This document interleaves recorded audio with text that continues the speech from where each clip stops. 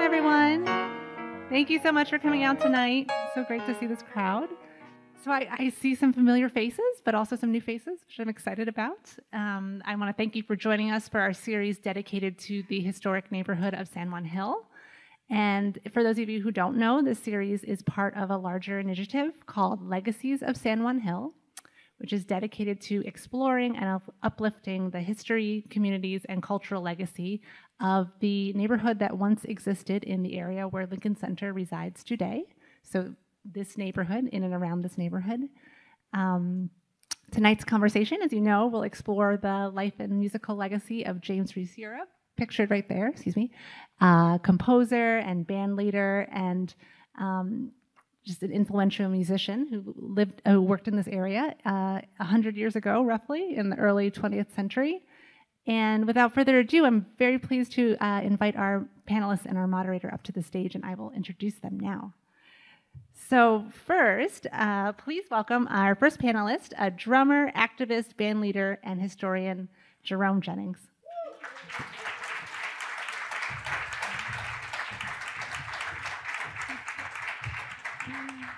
Our next panelist is an associate professor of history and African and African American studies at Duke University, Adriane Lentz Smith.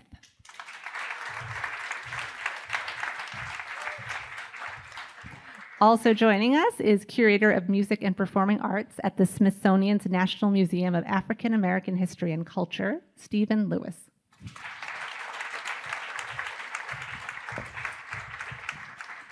And last but not least, please welcome our moderator and the curator of this event, uh, saxophonist and conductor, as well as founding director and senior scholar of the National Jazz Museum in Harlem, Loren Schoenberg.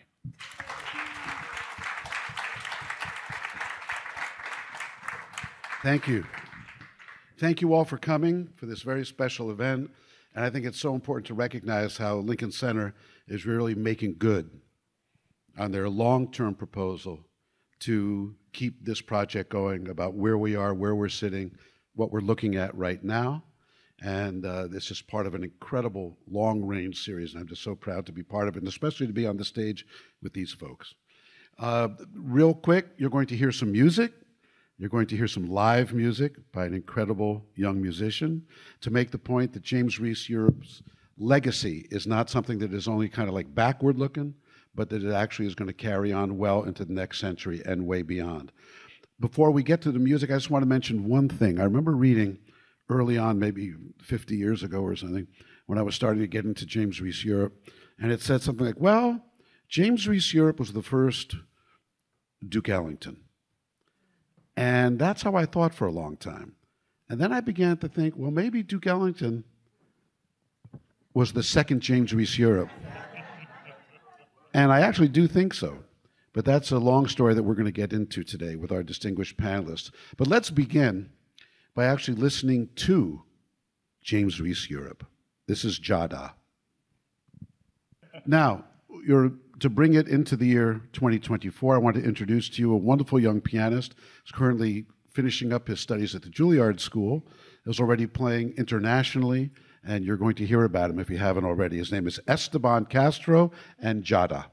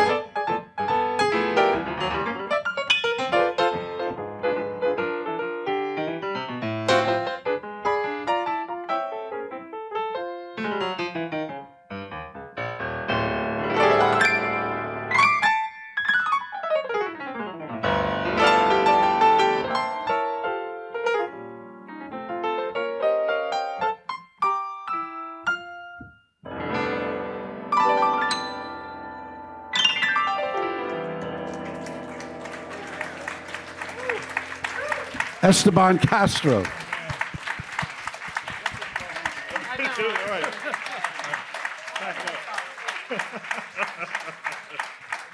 He'll be back.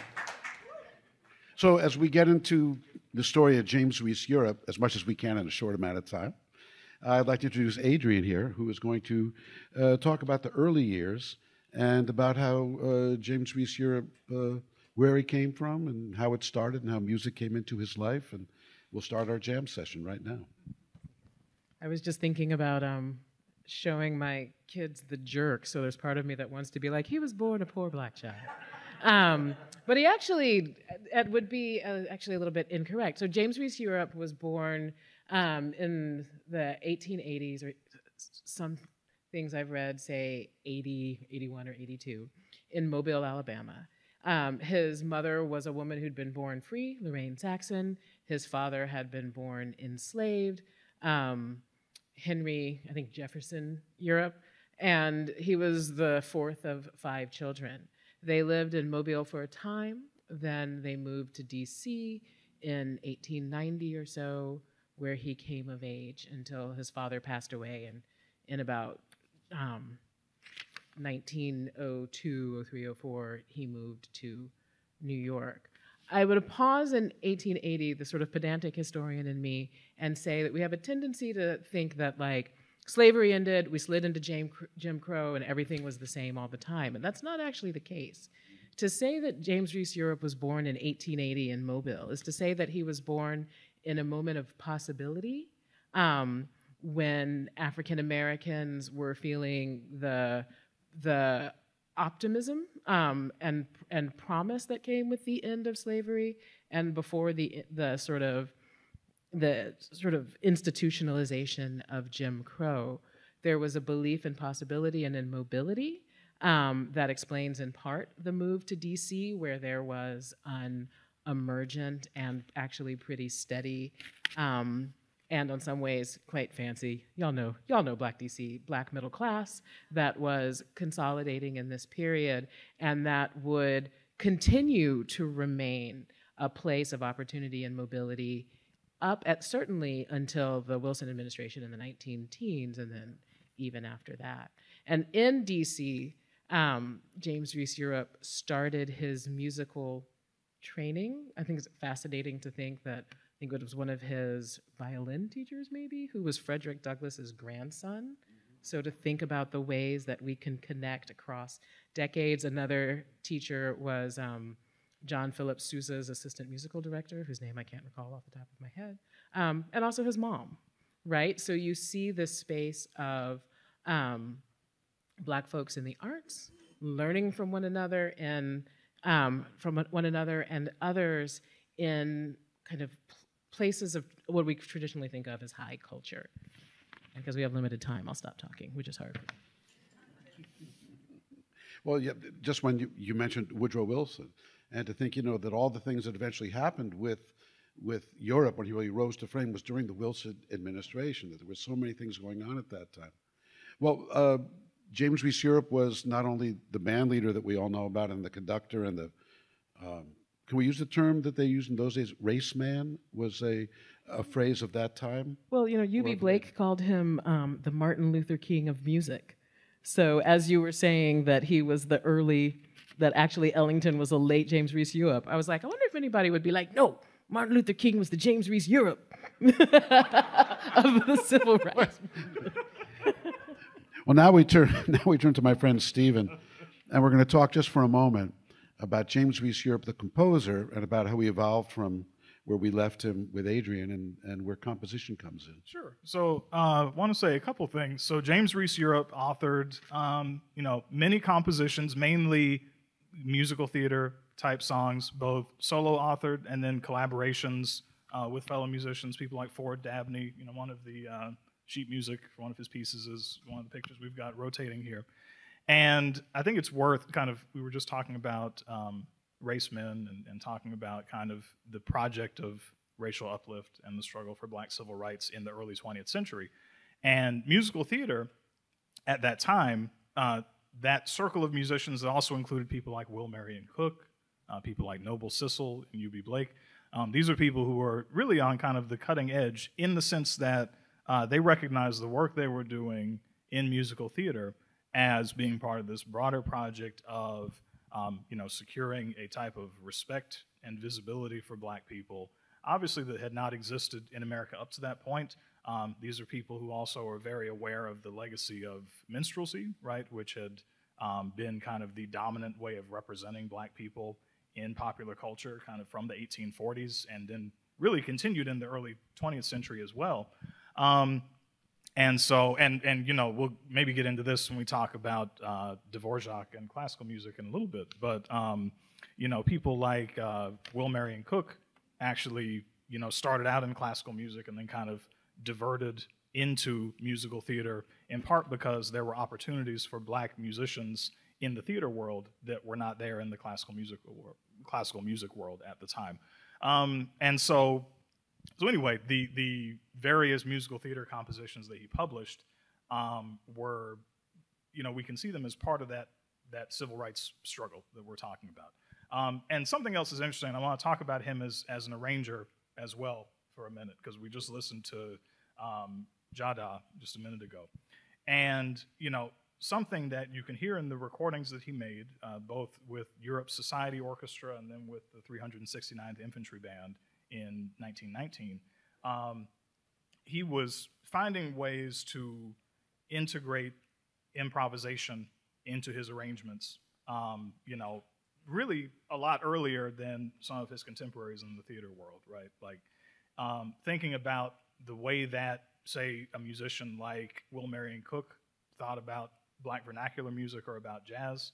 Um, you know, some of the, you know, some of the, the African American cultural leaders at the time actually were sort of dismissive of some of the new forms of black improvised music that were coming up because of their associations with, um, you know, we're talking about class already, so, you know, associations with the working class, associations with places like bars and, and uh, other kind of unseemly uh, places. Um, but James Reese Europe was someone who was thinking beyond some of those kind of issues of cultural hierarchy, right? Like you have classical music here and you have ragtime down here, and saying this music has value, and then finding ways to integrate that into more traditional ensemble writing, right? So in something like Jada that we just heard, you have mostly, you know, a, a, a written out ensemble. Um, but he's also, you know, the, the clarinet soloist who was playing at the end was almost certainly improvising, right?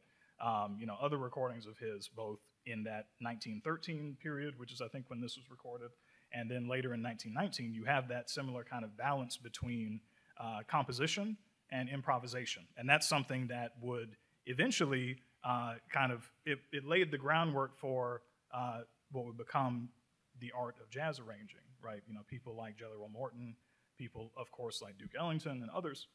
Um, so James Reese Europe is also kind of at the start of that history as well.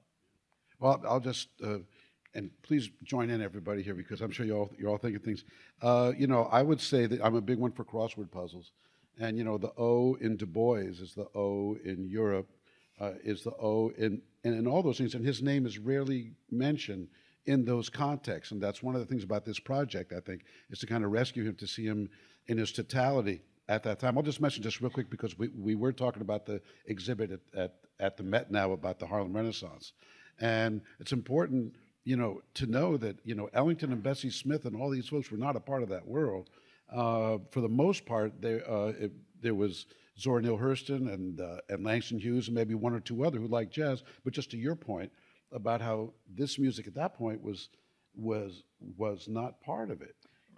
Yeah, and so I guess to give some more context to that, I'm glad you brought that up. So the idea that a lot of black intellectuals had, and that includes during Europe's day, which is like kind of, you know, a few years before what we think of as the Harlem Renaissance proper. He's kind of right on the cusp, right after World War One. Um, the idea was that black vernacular music, so music like, uh, especially music like the spirituals, which is you know black sacred music, but then also black folk music, was the raw material that a composer in a more um, serious right type of music could use as the basis for a you know composing a symphony or something. So Quote you could, unquote serious. Right. I, I said serious with with verbal scare quotes, and so so you did. So so right. So you know there was an idea that well this this is this is valuable as the beginning of some type of of um, major work of art by a trained composer. Uh, and that was the view that people, for example, like Alain Locke had. You know, the idea that the black vernacular tradition is the basis for some type of black musical achievement in the future. Now, Which what- is to say, it's not a black musical achievement in and of itself. Exactly, which is to say that this music does not have as much value on its own terms as it does on someone else's terms. Now, what James Reese Europe felt, you know, we can hear from his music, right? What someone like Langston Hughes also recognized was that the music had intrinsic value of its own and should be celebrated on its own terms, right?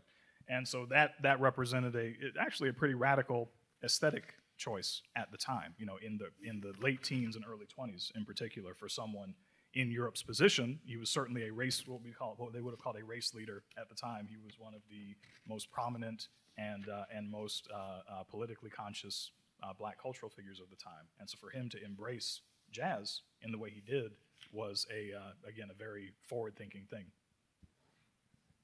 and we have to think about it too. Ragtime was if jazz was here, considering ragtime was here, it was under, and this man was able to take the sound of ragtime and arrange it and compose it for a brass ensemble, which which is something that's that's that's it's it's I mean when you when you say Duke Ellington was, you know, is the second coming of James Reese Europe, you you actually have a, a, a profound argument because when you when you listen to like Indianola, when you listen to Jada, you hear this you hear this trumpet, uh, right? And you get that same trumpet sound out of Bubber Miley. 20 years later, 30 years later, right? So Duke Ellington being from DC and being a musician, when you when you come up as a musician, you're checking out who came up after you so you can get the kind of pride from your hometown. James Reese Europe came up in the same hometown as, as Duke Ellington. So it's very important that we understand that he was checking out James Reese Europe.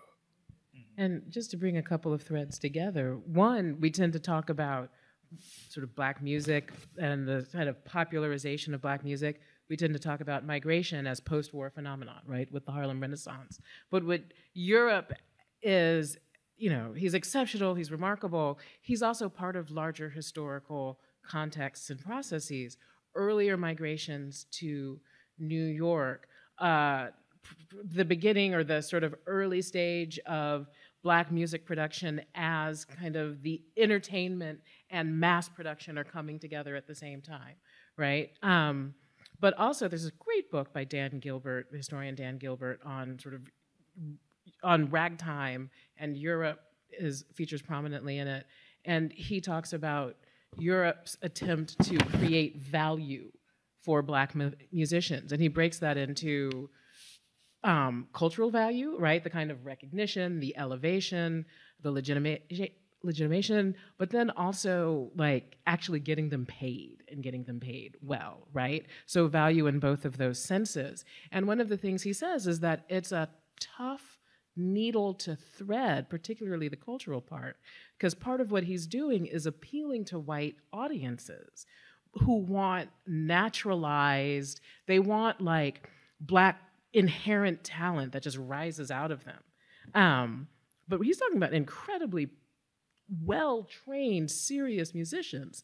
And so part of what he is doing is figuring out how to let the audiences consume black music with a narrative in their head that does not necessarily reflect the the the people who are playing for them right and that's the sort of going back and forth or sort of both pushing against and knowing when to stop pushing against certain kinds of racial stereotypes And I'll just add to that, you know, the fact that you see these these musicians that we're looking at. uh, There was just a picture up there of a band. Uh, many times when these folks would play, uh, they were told not to bring the music because the white audiences didn't wanted to think that they couldn't read. So they would play the music from memory uh, because it would somehow offend the audience uh, if they could see that the people were actually reading music. So it's multiple. There, you see that? That kind of picture. You are looking at, at, at musicians and things who would have been in any symphony orchestra uh, if they had chosen to be. Well, you, Steven, you're going to say something? Oh, no, I was going to say something about the kind of economic empowerment piece that Adriane mentioned, but I don't want to cut you off. No, no, go, go. Okay, well, that's, I mean, you know, and, and talking about the, the monetary value piece, you know, that's, so what, what James Reese Europe was doing with the Clef Club, in addition to this is an organization that is featuring the music of black composers and they have their own uh, orchestra that performs at Carnegie Hall eventually. Um, it was also like a musicians union for black musicians at a time when they were not allowed in the main New York Musicians Union. And the reason why this was so important was that it wasn't uncommon in the early 20th century, late 19th century, for a black musician to show up to a gig and be told that they were only going to be paid in tips. And so they wouldn't be receiving any type of base pay at all. Um, and so you have these highly trained musicians, uh, people who are, you know, able to read music at the highest level, people who are musically versatile, uh, who are then playing for um, very, very low pay. I have to interrupt Well, and say yeah. this sounds like the jazz scene today. Well, well, well. Let me Right, let me let me right, let me Jerome? cut you off. Let me say let me say this. Some of these musicians would go to gigs and would, wouldn't play. They would be asked to mop a floor, or they would be asked to help out the me- like the the, the the the head chef, or wait tables. So they weren't even playing their instruments in many cases. Mm-hmm. And so what the Clef Club does is say, if you want to hire black musicians, you come to the Clef Club. This is how much musicians have to be paid. This basically establishing and then being able to enforce because they were organized.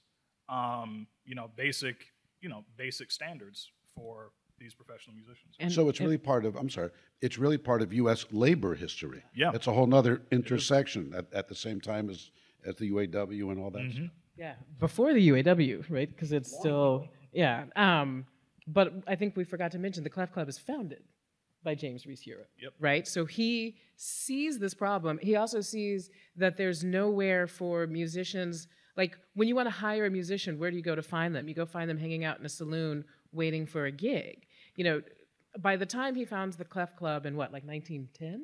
Yeah. um, he's already plugged into a scene, sort of through accident and through his own savvy, where he has begun to play at house parties for the folks who are like, you know, the characters in the Julian Fellowes show, The Gilded Age, right? So the Astors, the Cabots, the Vanderbilts, those sorts of folks. Um, um, the Wana, it starts with Wanamaker. And he recognizes, like, he wants to bring people along with this because one of the things that makes him a race man, as opposed to an individual person who just got money in his pocket, is that he's thinking about a way of extending this so that more people benefit from it. But he knows the Vanderbilts don't want to go to a saloon to hire a musician, right? They need a place. So he gets a building, he gets a telephone at a time when people don't have telephones right? And begins to put a structure in place so that these people present as professionals, so that they're then treated as present professionals and paid as professionals. Yeah. And part, I was just going to mention on West 130th Street, uh, there's still what they call NAMA, uh, the New Amsterdam Musical Association. The building is still there, the brownstone is still there, and it's part of the same movement. Well, and it, what's in the name? Um, to your point, Steven, um, James Reese Europe did not want this to be a classist organization. The name Clef Club he borrowed from a union in Washington, D.C. called the Treble Clef Club because it was a high class club for black people who were high class right? Class is. I mean, it was some other isms happening with the Clef Club that we don't need to get into, but he didn't want folks who might not have had the kind of training a classical musician might have had to be thwarted from coming and joining the Clef Club. Come on in here, all anybody and everybody. Come on in here. We're gonna help you get work. We're gonna make sure they put you up. We're gonna make sure you're not a porter when you work when you arrive at the gig and have your violin in a case somewhere. And if they don't, and if that doesn't happen, you tell us, and we'll make sure that you get, you know, your just dues. This is a first. This was a first, and the, the equity was still in inequity because these musicians still got paid less than the white musicians who were a part of the union. the Federal uh, Association for Musicians. They still got paid less. So now we're going to move to Dvorak, to Ellington. Can I do that quick, or would would you like to cover that quickly, Steven? Oh yeah, yeah. I can I can talk about it quickly. Uh, so so Dvorak is important in this story uh, because in 1893 the National Conservatory of Music is established here in New York, and Antonin Dvorak is brought in as their director. So he's a great uh, Czech, you know, Bohemian, what is now the Czech Republic uh, composer, who um, you know was already very highly respected, known kind of for the his work in romantic nationalism and music. So using kind of Czech folk music as the basis for uh, compositions. And so he comes in, and the way he plays into this story, you know, during his time at the National Conservatory of Music is he says uh, in an interview that the basis for uh, an American school of composition should be African American traditional music and also Native American traditional music. And so, in doing that, he gives a type of institutional uh, uh, support, right, to black composers uh, in classical music and, and also not in classical music, right, who are looking to use uh, black traditions in music as the basis for kind of uh, new innovative music of various kinds. So you do have people who write classical music uh, drawing on black folk themes. You also have people like James Reese Europe, Will Marion Cook, uh, ultimately Duke Ellington as well, you know, in a later generation who are using black folk traditions again as the basis for just forward thinking music, generally speaking, and kind of outside of the classical tradition. So Dvorak is not the person who starts black people kind of like, you know, composing, but he is someone who, by, you know, in the position he was in at the National Conservatory of Music, by recognizing the value of black folk music as the basis for musical development in America, he both um, kind of made a really strong case for black music as a definitive American music, right, that had value kind of on a universal level, right? And then also uh, the value of that music um, to the next generations of composers as well. And he wrote this famous symphony we all know from the New World. And in it, he included a movement uh, that was his version of what at that time would have been called a Negro spiritual, which is dee dee dee dee dee dee dee dee dee dee going home. And in it, what, what he does is he writes it from his perspective as a Czech composer. I heard this, I loved it, and I'm going to interpret it through my lens, which is exactly what Ellington wound up doing with the music that he heard from around the world. He didn't try and imitate music from Japan or music from Latin America. He interpreted it in his own way. So all these threads come together. You mentioned a book. I would mention Maurice Peress's book, From Dvorak to Ellington, which really was the first one really to kind of to make this case. Well, I'll pick it up and take it now to the castles. And I'm looking at the audience here, and I see some folks. I don't know if I'm the only person here who knew Jean Bach very well, but Jean Bach was a wonderful woman who uh, made the film A Great Day in Harlem and uh, was a close friend of Duke Ellington's and all these folks. Her stepmother was Irene Castle. And Irene Castle we'll see on a photo up here because Irene and Vernon Castle were, okay, let's put it this way Fred Astaire and Ginger Rogers were the second Vernon and Irene Castle.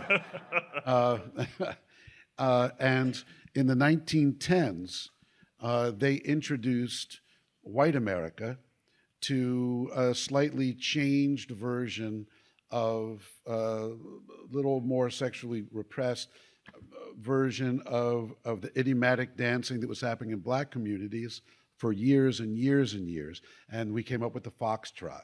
Uh, and we came up with the bunny hug and the ball and the jack and the eagle rock and, and all these things. There, there they are, quick, okay. Ca- Castle Lame Duck Waltz. You cannot believe how big they were in the years leading up to World War I. And who did they choose as their musical director? James Reese Europe. So it was an incredibly important thing. I worked a lot with Benny Goodman and Lionel Hampton.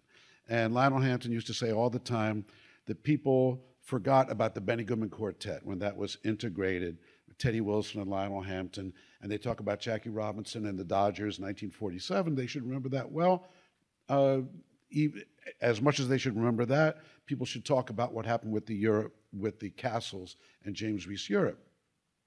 So uh, he became, this is, I believe, the first interracial thing happening in major commercial music, which means white music of that age, uh, in terms of where the economics were.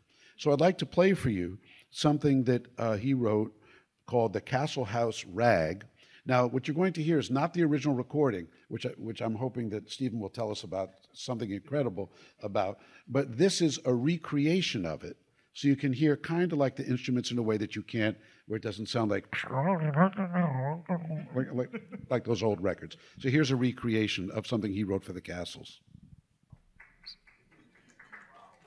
So I want to say I want to jump in while this is still in our ears, and the reason why it's worth listening to the 1913 recording that Europe's Society Orchestra made because so on the record they play everything you just heard. That is the extent of the written score. There's like maybe 30 seconds more after that where they're they're strictly improvising and they just kind of like have like a group jam session for maybe like a minute. And it's really it's very cool to hear and it's very historically important because that's probably the first example on record of that type of African American improvisation, you know. Um, and I'd say probably, you know, it's you. The thing that's interesting about it, kind of from a historical perspective, besides just the fact that it exists, is you know, stylistically, um, it almost sounds a little bit like a hoedown ish, almost. You know, like it's not it's not really what you think of as early jazz improvisation, um, but the you know the violinist kind of starts playing more like a fiddle player would play, and then the uh, the cornet player, whose name was Cricket Smith, um, kind of plays like a, a simple kind of like danceable melody. And they just kind of like go along like that for maybe you know like a minute and then they wrap up. So everything you heard is on the record and then some more stuff. Uh, and which is what i was talking about earlier that mixture of composition and improvisation in james reese europe's recorded performances is something that you'd see later in the you know in records of, of jazz composers and arrangers right? So he, again he's really on the cutting edge there jerome why don't you take us to please about the famous it's happening right at this time I don't know how many of you know about this. We're going to find out about Carnegie Hall and, Jen, and James Reese Europe. Yeah, so so James Reese Europe, he, he makes appearances. Uh, he makes three appearances at Carnegie Hall. The first one is May 2nd, 1912. Um, this is major, this is humongous here. Um, uh, David Mannes, Manns was they were they were tight. Y'all don't know who that is. That's the guy who started the new school. Um, but it started out as the National uh, um, um, National Conservatory. Conservatory. Yeah. And they, they, they got this idea. By this time, the Clef Club Orchestra is, is making a lot of gigs um, around town, but never in a place of respectability, right? like like a hall. It's not happening because it's a black orchestra, all black orchestra. So they get this idea. Look, let's raise some money and have this concert, but let's do it at Carnegie Hall, okay? But it was supposed to be originally the children's uh, orchestra with this at the at, at, the educational, you know. But they didn't get they weren't able to put it to pull it together the, the, the skill level wasn't at it wasn't up to par. So they get an idea. James Reese Europe, he has an ex, extremely, he has so much confidence in his musicians. What's interesting is most of them cannot read music. To another point, uh, Stephen's point, these musicians, they're very, they're gifted, but they have, they have they, they have they have jobs. Some of them are porters, some of them are janitors. So they run into an issue where they not they're not able to get consistent rehearsals. And when they do get rehearsals, everybody's not in the same room together. And when they do get rehearsals, it's in a, a horrible place that's very small, not very adequate for rehearsing. Now, they pulled this concert off. It's an amazing event. Um, uh, William Cook Will Marion Cook, he's actually he's kind of like a hater. Really, he's like he's like he's like James Reese Europe is not a real he's not a real uh, conductor. He's going to move the race back 50 years after this concert. Hating. So James Reese Europe is like, okay, I got you. There's two choirs that's going to perform, church choirs. At the 23rd hour, they're like, we're going to pull out because we don't want to look like sinners. James Reese Europe is playing popular music. This is not you know, considered high class music. Why? Because black folks are looking at, through the gaze of white folks while checking out this music. It is high class music. It's very challenging to play. Ask any piano player about how to play ragtime. They'll tell you it's tough. And it's our contribution to the world, African Americans via America. But moving on to this concert. So James Reese Europe says, and David Mannes, Mans, by the way, he's he is the, the the guy who's talking to the people with the money, putting this thing together. They want to raise five thousand bucks. He's like, look, if we don't do this, if if if you have these subpar rehearsals, the choir's gonna they're, they're jumping out. What we need to do is cancel this. We need to cancel this concert. James Reese was like, nah, I got it. We got it. James Reese Europe says if these two choirs pull out of this concert, we'll just sing. We're good. We got it. We all go to church. We can do it.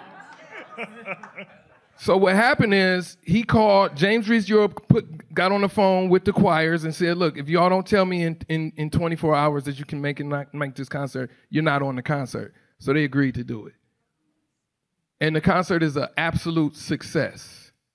It's successful. It's standing room only. It's it's it's it's split 50-50 black folks, white folks. And uh after sitting together, that's right. And it's interesting. Um after that concert, the Clef Club just blows up. They blow up.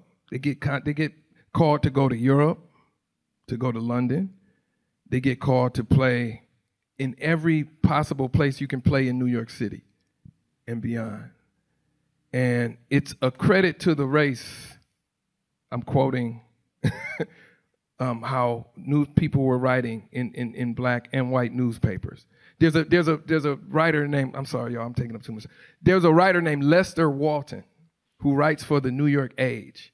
If not for him, I don't even think James Reese Europe would have been as successful as he was because he used to write in such a positive light about this music and about what people were hearing that they didn't even understand what they were hearing. So that's the Carnegie Hall concert, the first Carnegie Hall concert. It's very significant. And it helped put James Reese Europe on the map. Mm-hmm. Well, thank you. Thank you, Jerome. I think it's time we hear some live music. One of the pieces that, uh, well, I'll put it this way just real quickly. Um, some of you might remember a movie called The Glenn Miller Story from the 1950s with Jimmy Stewart. And it tells this story about this guy who had a successful band. And then he gave up the band. And then he went to, then he went to Europe in World War II with his band. And then he died and all this kind of stuff. Well, I have one question. Why hasn't there been a movie about James Reese Europe? Because Glenn Miller was the second James Reese Europe. Uh, and it's, it's really, okay. okay, all right. But in any case, one of the pieces that, uh, that broke through in terms of African American music in the 19, in 1914, just at the time of, of the second or third James Reese Europe concert, was of course W.C. Handy's St. Louis Blues. And we know that James Reese Europe played it, they made a recording of it, but I think we need to hear Esteban Castro take something that James Reese Europe played and bring it for us here right today. Esteban?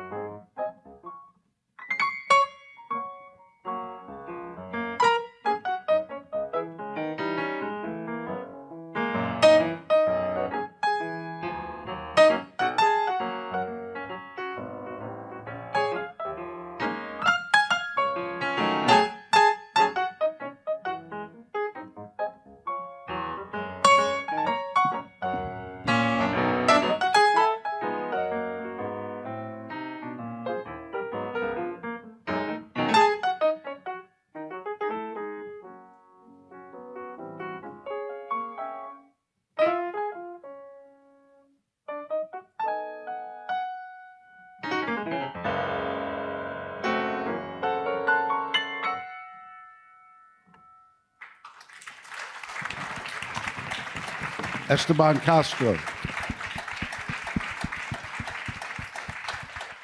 Now, let me tell you something that's so important about what just happened. The feeling you had when you're hearing that music, hearing something done right in front of you, and you don't quite know what's going to happen, and it's so much of the moment. That's how James Reese, James Reese Europe's music sounded to the people then. And sometimes it's hard to transpose it when you hear on an old record from 100 some odd years ago and all that kind of stuff. That is how it felt. So, that feeling that you have now about having just experienced a, a, a thing through music with rhythm and with feeling and with whatever the heck it was, that's how people heard James Reese. And I think sometimes we have to plug that into it when we talk about these historical figures because they were living life going forward. They're coming to get me. Just kidding. it happened once, and ever since then, I can't help it. Okay, sorry. Okay, now. Is that another plan- panel, st- story for another panel? Uh, it's when we show the jerk. but anyway, so anyway, so to get back to it, um, right around this time, I'd like just to open it up to the panel to discuss uh, Bert Williams and James Reese Europe in the same sentence as Bert Williams. Who the hell was Bert Williams? And what does he have to do with, with James Reese Europe? Everything. And then to go from there into the discussion about the Hellfighters and, and all that stuff. So why don't we start with, uh, with Adriane, if that's okay? I can do the Hellfighters. Yeah. But we want some Bert Williams beforehand. Sure, of course. Um, okay. Steven, why don't you tell Sure, people yeah, about Bert okay. Williams? So, Bert Williams, um, you know, extremely important as a theater performer, as a comedian, you know, one of the, if not the leading kind of black figures in theater in the early 20th century. Originally, he was a partner with George Walker in the group Williams and Walker, and then becomes a star of his own right. He was featured in Ziegfeld's Follies uh, in, I think, the 1910s or so, and um, so, you know, broke a lot of barriers. At the same time, though, um, and this is one reason why his legacy is complicated, is that he, you know, he did perform in blackface throughout his career. Now, that is especially at the time he started, that was something that black performers were more or less expected to do, right? It was a, a rare black performer in kind of the world of popular entertainment, so theater and vaudeville and so on, who did not ever appear in blackface, frankly. Um, and so, you know, the, the thing that's amazing about Bert Williams is that um, even given the ways that his, uh, you know, like videos of him and things are, you know, kind of painfully dated because of the blackface, um, his ability as a comedian still really shines through. You know, there are a couple of uh, silent film reels of him. One that's called, I think, The Gambler or something like that. Where yeah, where he's he's kind of mimes playing a card game, and you know, again, just the the control over his physicality. You can tell he was a master of physical humor. Also, his recordings, like Nobody in particular, are still very funny. You know, so he had amazing comic timing, um, and he and James Reese Europe actually collaborated a few different times over the course of um, their, you know, kind of, they were in New York at the same time in the same scene. They were both members of this uh, group that there's a picture of circulating called the Frogs, which was kind of a, uh, a, a uh, professional group of black theater performers that in some ways was kind of a parallel to the Clef Club. Um, and, um, and James Europe served as musical director in a couple of the uh, productions that, star- that Bert Williams starred in. Um, but you know, something that is um, interesting, like I guess a divergence between the two of them, of course, is that uh, James Reese Europe uh, made a really definitive move away from the conventions of minstrelsy, right? That, of course, Bert Williams was very much constrained by over the course of his career. So I just want to add something to that, uh, which was that um, Bert Williams was West Indian, and he was not at all from the South, and he had none of that in his dialect, none of, none, none of that in his humor. He had to learn to portray himself as a typical minstrel figure and had to learn as much as uh, anyone had to learn from somewhere else about that humor and, and the gestures and the language and all that kind of stuff. So that was actually foreign to him. And he was called the saddest man I ever saw. I think it was by W.C. Fields or Eddie Cantor, somebody who was associated with him. Now, here's a man who, who made the world laugh like no one else, and a deep kind of laughter. I mean, it wasn't just surfacey, uh, you know. Uh, and, um, and yet, Uh, he he wore a mask that wasn't even his mask. Uh, it, it, it, it's so common. There's a good book about him too. It's a roman à clef. I, I, not, I mean, it's a. Caryl Phillips, Dancer in the Dark. Thank you. Yes, yes. We're giving you a long reading list. I wish I was Alex Trebek if he was still around. Quiz Bowl champion in the 12th grade. Um, uh, sorry, Oh, no, sorry, no, no. Joel. You're I gonna was just very quickly gonna. I was just gonna say that one of the things that Reese, Reese Europe and Philip share then is this like operating, b- becoming stars, right? Operating in a moment when popular entertainment still trafficked deeply in racial stereotype, and not just popular entertainment, advertisements, like everything, right? And so um, pairing them reminds you that people had a tricky, like as I said, sort of tricky sort of path to tread, and different folks made different choices about how to deal with that. Um, and to talk about that is not to judge one person or the other for the choice they made, but to understand the complexity of the terrain. and to just whoops, sorry just the last thing i'll add on that point is that you know to be clear um, you know james reese europe also had to make compromises with the minstrel stereotypes that were still very much current in american american popular culture at the time you know if you look at the titles of the, some of the theater songs he wrote if you look at the plots of some of the of some of the productions that he was involved in either as songwriter music director et cetera uh, they're Right. Yeah, they're still full of the of the conventions, right, of the tropes and the stereotypes and everything that come directly from the minstrel show. So uh, even even someone who is able to uh, not perform in blackface um, is still kind of having to negotiate, right, the the legacy of minstrelsy. So that's and. I'll put an asterisk here and just say Spike Lee bamboozled. yeah. Talk about that some other time. Anyway, sorry. How I learned about Mos Def. I was like, who are the Mau Mau's? They may be nuts, but they're good. So to Adriane's point, uh, I'm a you know to extend what what's been said. Um, there, and there's always an alternative to what's happening. Um, when you think about James Reese Europe as a as a young musician and and arranger, or as we would call, or uh, theater music director, he came up under um, two very radical figures in a man named Bob Cole and a man named James Rosamond Johnson, who's the brother of James Weldon Johnson. His first experience, now, now I always say this if your first experience as a new a, a musician in a person's band, that is your musical father, mother, parent. So you're going to move in a certain way based off of what you've been listening to behind the stage. How do you conduct yourself as a musician? That is going to be very apparent in James Europe life moving forward to be a part of to be to, to get his first major music directing job um, with with a play called the uh, uh, well the second one was Red um, what's the name of that play?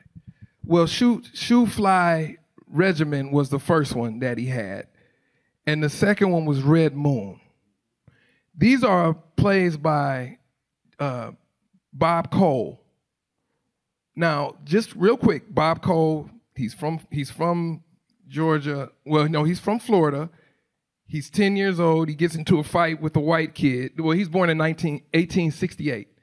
He gets into trouble. He gets into a fight with a white kid. They both pull out knives and they get down, right?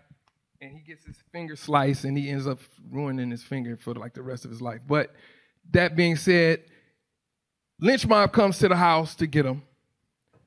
His father is like, look, no, you we're gonna put you, we're gonna hide you, and you're going up to live with your auntie in, in Georgia. So he moves to Georgia. He becomes he's a he's a musical savant. He ends up hanging out and getting together with with with uh, J. Rosamond when he moves to New York, and they they write these plays. He is a writer of what's called the coon songs of the time and many of them had coon in the title. One of one of his first successful plays was called uh, Coon Town, and he was writing one that was called. Um, this is messed up. He was writing one that was called uh, uh, Coney Island. now, now, now, now, here's the thing. His manager was a man named Rudolph. I can't, I can't. His the last name is leaving me right now, but he was the manager for the Cicer, for Sissieretta uh, Jones, the, the Troubadours, and he was a crook. He wanted to own all of Bob's music, and Bob was like, "Nah, you can't have my music. I wrote it." So he had him thrown in jail, and Bob Cole was consistently trying to uplift black folks and getting them to one own their music, get the money that they're that that they should be, you know, granted for the work that they were doing on an equal basis playing with white musicians and troops. That is so forward thinking for the times to be vocal about it, not just talk about it amongst your friends. And he did that. And who is the first, what is the first job James Reese Europe has? As music director for Shoo Fly Regiment. And Shoo Fly Regiment and, and, and Red Moon are very radical plays for the time. They show black people in love. They don't use coon in the title or word within the play. And there's not a lot of shucking and jiving in it. Now, what's interesting, this is a young James Reese Europe music directing a play that has these things going on when the Coon song is still popular. And, and, and also, just lastly, Bob Cole wrote a lot of Coon songs and made a lot of money, right? Like Tom, Tom Fletcher writes in his book, 100 Years of Black Entertainment, Black Folks, Negro in the Entertainment Business. He wrote this in 1950. It was published in 1950. He says that the songs that Bob Cole wrote were whistled and sang, sung all over the country. So Bob Cole was very famous and made a decent amount of money, but he didn't own his music. That's a different. That's different. So James Reese Europe came up under these people. And this is an alternative to Bert Williams. Right? They were all friends. I mean, if you look at that picture of the frogs, James Rosamond, Bob Cole, they were a part of the frogs. Right?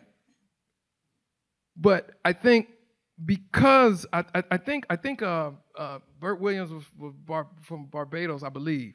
I'm not sure, but I know he was West Indian. Yes, Bahamas. That's right, Bahamas. Um, I don't. I don't think he was in tune to what was necessarily happening within the black community and how things were shifting he made a lot of money. He's the first black millionaire entertainer in the United States. And look what he was doing to get that money. He wouldn't take the blackface off when he had an opportunity to take it off. When it was like passe to wear blackface, he kept wearing it. So he felt a way. I'm not judging him, I just know he felt a way about doing what he did. All right. So why don't we transition now into the, you can say something, Steve? No, Oh, sorry. no, into the story of the Hellfighters, and because it's a, a, a great segue, actually. I'm going to do World War One a terrible disservice by trying to do it in like a minute because I know that we are um, a little behind.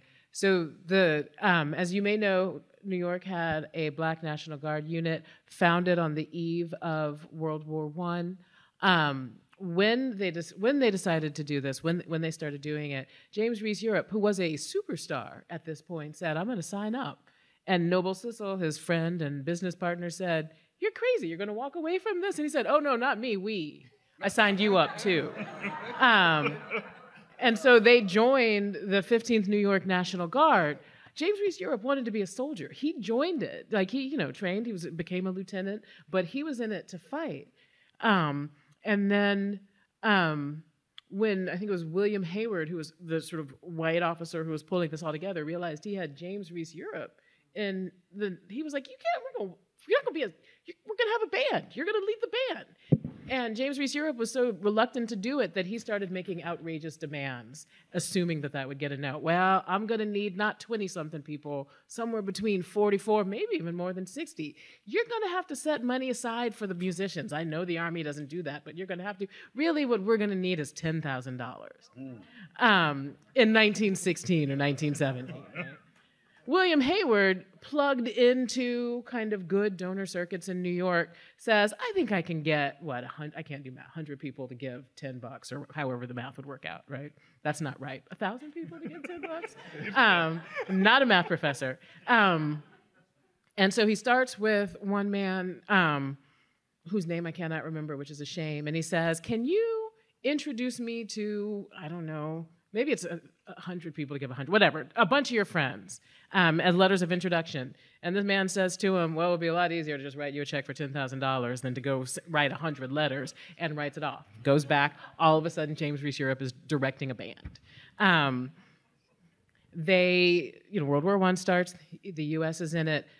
Rayford Logan, who became a historian, was an officer in World War I, said about his World War I experience that he, taught, he fought two wars at once, his own and Woodrow Wilson's, and he wasn't sure which one did more damage to him, right? That quote for Logan about himself stands in for many, many people's experiences, including the folks of the, the 15th, who then went on, they were federalized as the 369th. They were brought over, they did horrible backbreaking labor because the Army was reluctant to use even their combat troops in combat. The French, however, needed um, men, so Pershing gave some of the black units over to the French. So the 15th fought with the French in some ways that removed them from the worst of American racism, but it also put them in on the front so that they spent more time under fire than any unit in the war. James Reese Europe was in and out of it. He was pulled out to perform with the band, and it was actually his touring with the band that sort of electrified European musicians and European audiences and contributed to the spread both of ragtime and jazz overseas. Um, and we can, I'm sure, you know, that's a story that's relevant to this, but I think it's important to note that he carried with him not just that experience and the sort of the electric excitement and the responsibility of being a musical ambassador for what he felt strongly was a truly American form of music, but then also the weight and and the trauma, right, of of experience of what was really the most brutal war that you know humans had. I mean, we could talk about the Civil War for Americans, but by and large, that anyone had experienced up until that point. And that, and that had a lot to do with the technology of it. Yeah. Because it was, Yeah. you know, the first with, with, the, with the horses and the cavalry and then the, Yeah. the new machine, machine- guns machine and all that. They, they had just never seen anything Yeah. like this before. Yeah. And so, um, and the army was hostile to black soldiers and certainly black officers. So by the end of the war, um, James Reese Europe was the only black officer left in his unit. Um, and as you probably know, there was a f- famous, you know, sort of triumphant parade through the the streets of Paris at the end of the war. The army excluded black troops from that parade, but when the 369th returned to New York, they marched all the way up Fifth Avenue back to Harlem with James Reese Europe and the band leading the way. And you might have seen some of that footage. That's some of the most archived footage that you see in all the documentaries about anything uh, remotely about that period. Is this great stuff? Uh, I just want to mention that next week, not next week, but the next program that we're doing in April uh, is going to shine light on the fact that many, that, that a significant amount of people in that orchestra were of Caribbean heritage, and people from Cuba and people from Puerto Rico and all this kind of stuff. We're going to kind of shine the light on that too. So it's multi, multifaceted history here that many times uh, is not acknowledged. Yeah, he actually, just to interject, he actually used some of the money he got to fund, you know, the band. He actually used it to go to Puerto Rico. That was one of his demands. Yeah, You're to gonna let me go to Puerto Rico. Like he's like, I need to go to Puerto Rico specifically to get reed players. Like Right, he went to there's get woodwind players there, and so the uh, the clarinet players in the band were Puerto Rican specifically. So it's, you know, So Yeah. I would I would make the argument that I mean James Reese Europe he might have been the, one of the first to, if not the first, to combine jazz and Puerto Rican music together. He was. He was. Yeah. He, he, he had to, he had to be Well, long before Mario Bauzá, Dizzy, and Yeah. and you know, def- it's interesting that parallel too, because I mean, there was definitely, obviously, in New Orleans, there was like kind of like I think maybe, you know Cuban influence and, and and Caribbean influence. So there's kind of a parallel. Like it's interesting to see the parallels there, um, because in New York, you know, not only do you have James Reese Europe recruiting Puerto Rican musicians for his band, you also have you know increasing uh, immigration from the Caribbean to New York in the early 20th century, and the you know the musical ferment that comes out of that, you know, is also Radical moves, Lara Putnam. yeah. So anyway, so it's it's a really interesting point in history. you know, if I were to digress, which I'm not, um, you know, the actual instrumentation of what we think of as the New Orleans band, actually, there's a good case to be made. There's a scholar friend of mine who lives in Mexico to make the case that actually came from the Danzón orchestras that went from Cuba to New Orleans. That actually in New Orleans, there's no there were uh, African American military bands and cornets and all, and all that stuff, like Sousa kind of bands. But there, there, there was no clarinet and trombone and trumpet. But I won't digress. Yeah. Now, we, uh, I want to say something t- to the audience here just quickly because we've gone long here. And we all know because we do a lot of this stuff, and, and Jerome's a, musician too, as am I. We can always sense when, when an audience is very actively engaged with us. And I want to thank you for sticking with us through this because uh, are, are you enjoying yourself? Yeah. but I just want to say I, I sense that. Uh, I sense it, and it is very important for us here. We have there's so much more to talk about, and we want to have some time for question and answers. Um, I'm going to sadly cover the end of James Reese Europe's life, Yeah. which is that they came back from from Europe, and they marched up Fifth Avenue, and he had he was a young man, and he had his whole life in front of him. You know, history is written going forward. No one knew what was going to happen, and uh, you know, the, it was uncharted territory. What could happen to someone like that? You know, what would have happened if he hadn't died? And then how Duke Ellington would have evolved? Who knows? Uh, you know, if Thomas Edison's mother had met his father, it would be dark in here. No, I'm kidding.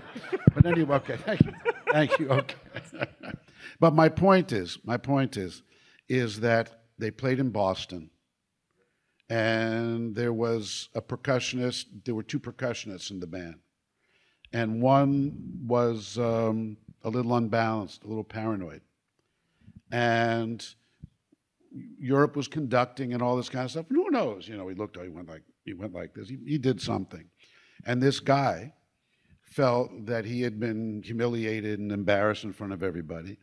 And uh, during, I, I'm not sure if it was the intermission or whether it was, I think it was after the concert. He went back to the dressing room, and James Reese Europe was in there with all these people, and how wonderful! And you just imagine what the future was at that moment in 1919. And the guy just got really annoyed. You, you did this, you, and he, and he just went kind of went up to him, just kind of went like, like that. Pardon me, but you know, but I mean, just kind of like a little something, something like that. Get him out of here. So they got him out of here. Well, he had in his hand a little penknife, and he got the jugular vein, mm. and that was the end of James Reese Europe. Mm, mm. Boom. Now the amazing thing is, is that the man who killed him became the teacher of Roy Haynes, which is a whole Herbert Wright. Herbert Henry? Him, Herbert? yes, that's right, Herman, Herbert. I thought it was Henry. Herbert or Herman. H. I I thought it was Herbert. H. Wright. You got that right. Oh, No. We're laughing. James Reese Europe's dead. Oh, but, but anyway, so yeah, anyway. yeah. Henry is his pops. Oh, Herbert. Oh, Herbert is the. Herbert got him. Yeah.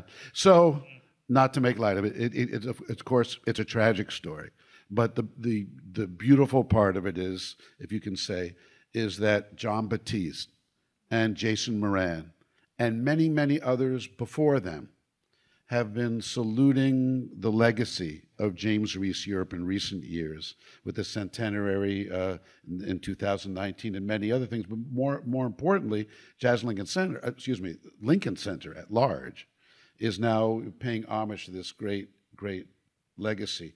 We have some music for you, and then we'll we'll open it up for questions and answers. Uh, can we, Esteban, you there? Come on. Hello. All right. Can you play the record of Arabian Nights? We're going to listen to James Reese Europe's band that he led in Europe during the second during the First World War, and I don't know whether you want to play during it or whether you want to blend in at the at the end of it. Whatever you want to do is fine. Here we go.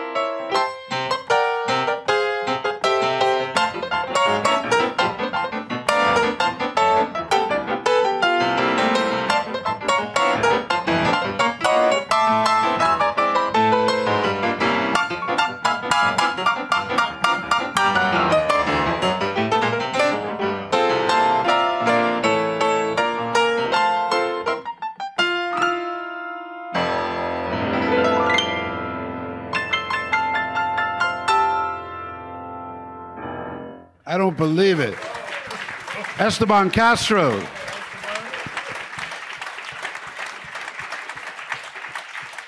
Esteban Castro. So you see, James Reese Europe's music is still very much alive. Thank you all very much for coming. And thank our panelists.